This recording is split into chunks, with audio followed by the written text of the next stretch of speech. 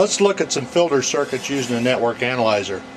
We'll start off with a simple switchable low pass filter network that's actually used in the WA2 EBY amplifier and then we'll go on after that's done and look at some BITX filter circuits. We're going to be using the HP 8407A network analyzer and its companion is a 8601 the 8407 has to work with either an 8601 or an 8690 sweeper because the 8601 sweeper outputs the desired frequency, say 50 megahertz, but also another frequency that's 100 meg higher than the desired frequency. So just a standard frequency sweeper wouldn't work for this. We have the output coming out of the 8601 feeds into the center port of a power divider. And one half of the power is going into the reference channel. The other half is going to go into the test channel. So when we start out first thing we want to do is set it up for a 0 dB reference. And that's going to be set up for the center of the screen. So we're going to set it to there. It's close to the center. Now I'm at, currently at 10 dB per division. I have a two and a half, a one dB, and a quarter dB setting on here, so I'm going to increase the resolution. I'm in a quarter dB per division right now, and I adjust the amplifier amplitude gain so I'm sitting at center. So right now we're sweeping from 1 megahertz to 110 megahertz on the screen. You'll see a little bit of hump up here at the top end. That's just a little bit of error in the system. Let's take and hook some other cables up. For the W2 EBY amplifier, I have some RG174 cables I'm going to hook in to the circuit. So let's hook them in and check the, the display at that time. We're just a little off here, so adjust that so let's hook the other cables up. Ideally, I've mm-hmm. replaced the test channel cables with a equivalent length of the RG174 cables, but I'm unable to do that because I don't have the right adapters.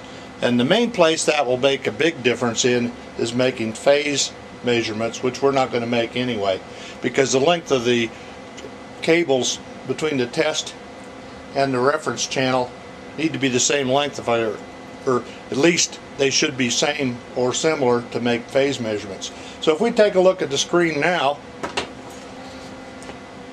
here's our 0 dB reference. You notice we've got, this is a quarter dB per division. I've got up here about 90 meg or so.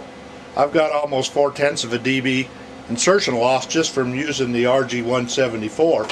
And if you notice, as I move the cables around, I get a different dip.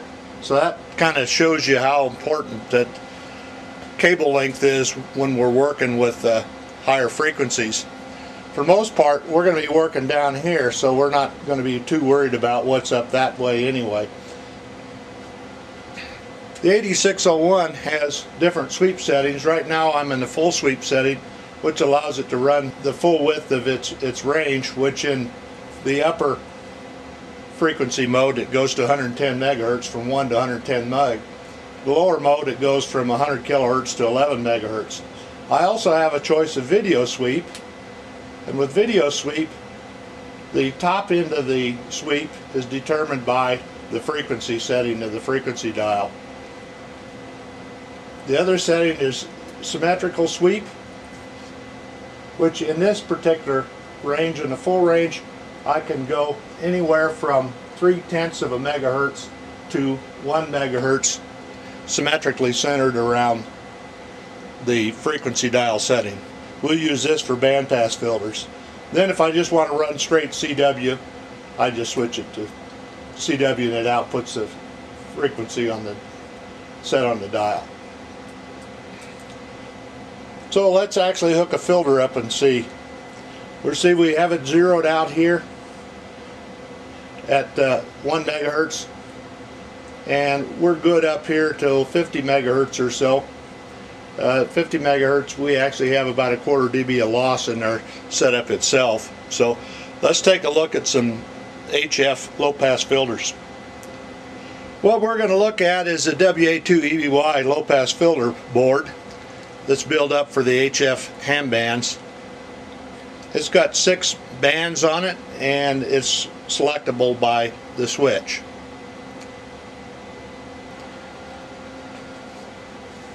Okay, we have one of the filters in. We're set up so we're running a symmetrical sweep between 1 megahertz 1 megahertz on the left and 50 megahertz on the right. So we can see that in that case each division worth 5 megahertz. So this is probably our 160 filter. We'll change switch settings. Now cut off a little less than 5 megahertz a little less than 10 megahertz. And there we go. The little over 10 megahertz. There we have 20 megahertz. And there we have 25 megahertz, 30, 35. So it's just above 30 megahertz, so that's probably our 10 meter one. Let's take a look at a little more detail. We'll go back to our 180, 160 meter filter and we'll change the sweep frequency and I'm in the video mode I'm going to change it down to 10 megahertz. So at this point each division is worth about 1 megahertz so I have about a 2 megahertz roll off here. Each division here is worth 10 dB so it rolls off down into the mud down here at 40 dB down. Let's give it a little more gain and see what we can dip down to. So I've gave 30 dB a gain, so I'm now 10, 20, 30, 40, 50, 60 dB down at this point. So that filter doesn't look too bad. Let's switch to the next one up. And remember I'm still going 0 to 10 megahertz. So this is about 4 megahertz or so here, a little less than 4 megahertz. And up here at 10 megahertz, I'm 10, 20, 30, 40, over about 45 dB down. So you can see how nice this is to take a look at filters. Let's go back, well, we'll go to 25 megahertz. We'll take this back down to zero and let's measure the insertion loss of the filter. We'll grab this filter right here. The way we do that is we just increase the sensitivity. This is 10 dB per division. This is 2.5 dB per division, 1 dB per division, quarter dB per division. So this is 2.5 megahertz.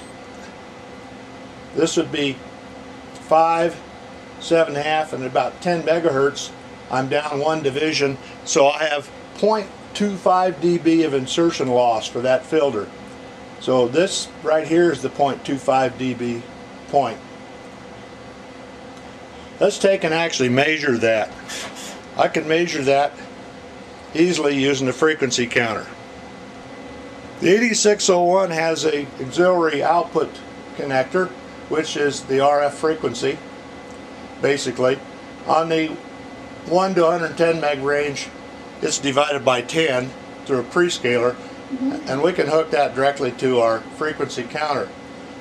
So what we want to do is move it from the, the sweep mode from the fast, slow to the manual, and at this point I can adjust the output frequency just by adjusting this potentiometer here. So let's go back and look at the screen while I adjust the pot. I switched my vertical sensitivity back to 10 dB so you can see what I'm actually doing on the screen. I'm adjusting, here's, here's counterclockwise, as I adjust clockwise the frequency increases and you see the display on the screen. So I'm just adjusting the pot back and forth. I'm going to go back and double check the 0 dB position on my screen. So I've got my two input and output cables shorted together and I adjust the amplitude to center zero and now we have we're sweeping between zero between 1 megahertz and 25 megahertz so I'll be off just a little bit up at the high end but I'm going to measure insertion loss down here. So let's let's go ahead and hook the circuit back up, uh, the filter back up now. I have my filter connected again. Let me get this coax out of the way. If we do it one, we can do, it. we've got 1 dB per setting also, so I can set it to the 1 dB range, and when I come down, here's 1 dB down, 2 dB down, 3 dB down, right at that point it's my 3 dB cutoff frequency. So I'm going to go to manual sweep, I'm going to adjust it until I get at the minus 3 division place. It's pretty sensitive to adjust. That's close enough. When we do that, we want to look at our frequency counter. Look at our frequency counter. It says 1.165 and the plus 6 over there means megahertz on the right. But remember this has gone through a divide by 10 prescaler.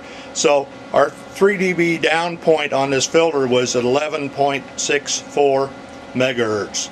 We can do that with another with another one. So let's reset to a new filter and do one more measurement. We can calibrate our screen by running it over to the left hand side, looking at the counter. The counter says 111.6 so multiply that by 10 so the left hand side of the screen right now is 11.16 megahertz and we can roll it over to the right hand side the counter says 2.429 so that would be roughly that's 24.29 megahertz on our screen. We'll go back to our sweep mode and up somewhere up here we're at 10 dB per division currently. Somewhere up here is where our cutoff frequency is. So let's go to the 1 dB per division setting. So down here there's minus 1 dB, minus 2 dB, minus 3 dB. So right at that point is our minus 3 dB or cutoff frequency of this filter. So let's go ahead and measure that. By to measure it, I'd simply go to manual sweep. I adjust it down there until it's the th three divisions down. And then we look at the counter. Counter says 2.134. So that's 21.34 megahertz is the 3 dB down point. So you've seen a little bit a real quick run through on some basic measurements you can make with a network analyzer. Say, boy, I'd love to have one of those. Well, just this morning I looked on eBay, and remember you have to have the two pieces. You need the 8601 sweeper and the 8407. Then they have different displays here. This is a phase magnitude display, and we're running in the magnitude position. But they have tested calibrated 8407 with a 8412 magnitude display for $700 and you'd have to spend probably a couple hundred dollars more for a 8601 but if you keep your eye out there about two months ago there was a complete set of the 8407 and the 8601 the power splitter and everything you needed basically to make standard magnitude measurements for $400 buy it now. So keep an eye out and if you can get a right of return so that you're not buying somebody else's junk